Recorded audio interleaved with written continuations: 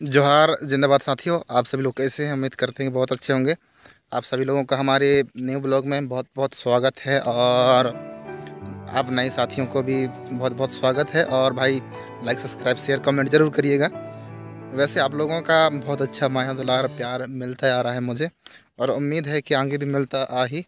और जल्दी से जल्दी एक हज़ार सब्सक्राइबर पूजा हो तो भाई, यार, आज की वीडियो में बड़ी थोड़ी सी मन में बहुत सारे इमोशंस बहुत सारे बातें छुपे थे तो मैं सोचा कि आप लोगों के साथ साझा करूँ।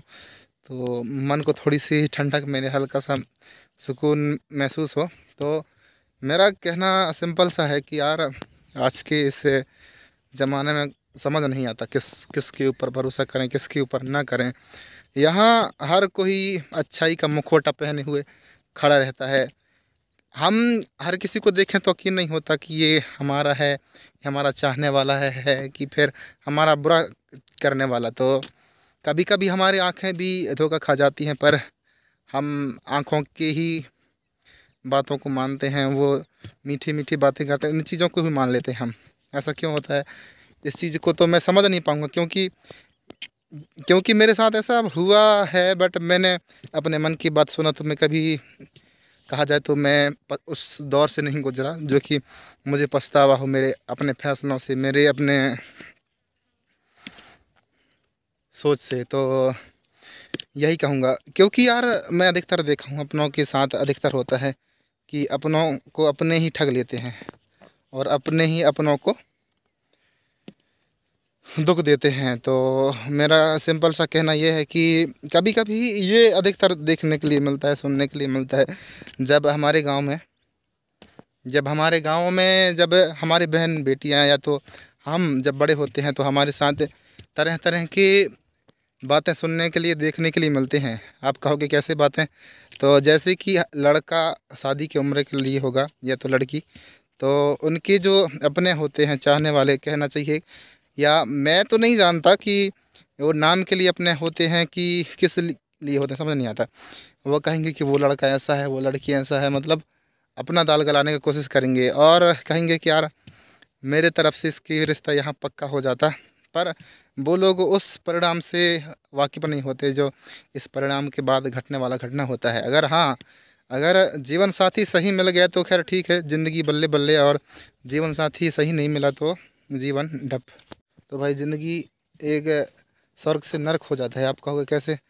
अधिकतर ये देखने के लिए मिला है आजकल जहाँ तक भाग के शादी करने वालों में और जो माँ बाप के खिलाफ़ शादी करने वालों में अधिकतर यह देखने के लिए मिला है कि जब पति पत्नी दोनों के बीच में बहुत सारे विवादें खड़े हो जाते हैं, बहुत सारे बातें खड़े हो जाते हैं और कभी कभी ऐसा नौबत आता है कि एक दूसरे से अलग होने की बात आ जाता है, बच्चों को अपने अपने अलग रखने की बात आ जाता है। तो एक बात और मुझे इस, इन सारी चीज़ों को सोचने के बाद मुझे एक बात याद आ रहा है कि कहते हैं ना बने में सब कोई तो बिगड़े में कोई नहीं। मतलब ये है कि सुख में सब लोग साथ रहते हैं कि मैं तुम्हारा ये लगता हूँ, मैं तुम्हारा वो लगता हूँ, ऐसा हूँ, वैसा हूँ।